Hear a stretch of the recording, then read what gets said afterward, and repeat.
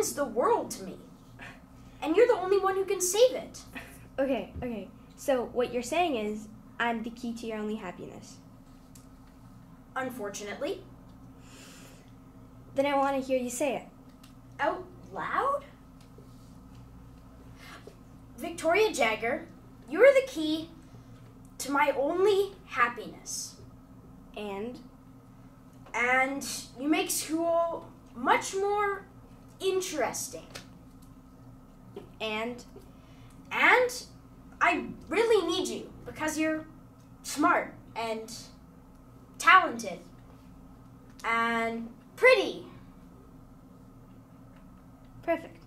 So you'll do it? Eric, I will never ever join your little freak show.